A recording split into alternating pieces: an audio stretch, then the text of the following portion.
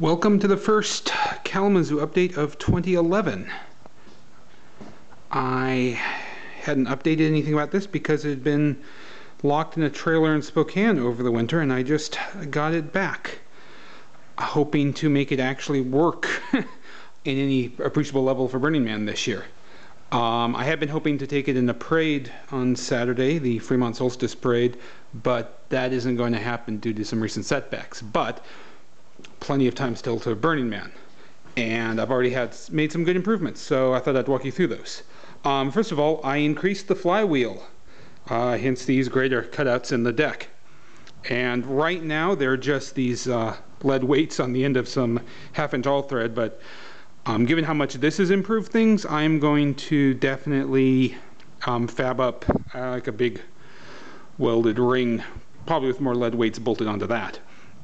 Um, so I don't know if you remember last year, but you could not pump this thing without a really annoying clank at the top and bottom as it kind of stalled out even when it was in a freewheel mode like it is right now. Um, but if you watch now,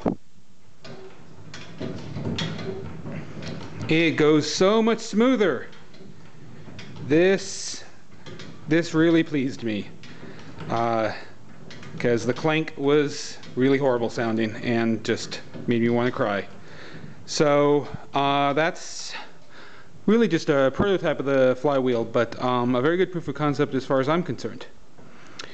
So one of the other big changes is the steering mechanism. Um, first of all, I changed the linkage down here and replaced a really awkward and last minute hack job of um, some some kind of faked uh, U-joints um, and replaced them with these uh, rod end ball bearings, uh, one on each side, which both gives me a much nicer motion and is cleaner looking, um, but also allows me to adjust the distance along here by uh, adjusting the screw.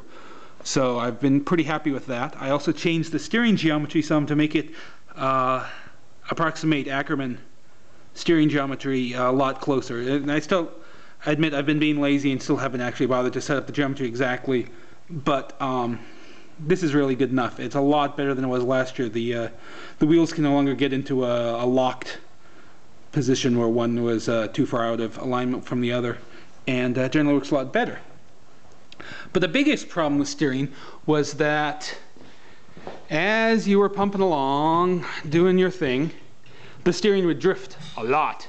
So you had to be holding on to it here, which meant you only had one hand for pumping, which was really awkward and it wasn't very ergonomic. It's just the, the best way to put that. So the steering lever had needs to lock into place, I decided, and that's what it does now. So now, I'll give you a wider view. There's a handle up on top, which is just a kind of stylish looking old bicycle brake lever, which is attached to bicycle uh, cable drive down to this mechanism where this tab gets pulled up out of um, the, the teeth of this handmade cog contraption. I'm not entirely sure what you would call it in this context. Um, locking it into place. And so when you want to change the steering angle, you, in, you release the tab and then you can make your adjustment and lock it back into place. So it does mean the steering is somewhat quantized. There are only so many positions, but a decent number.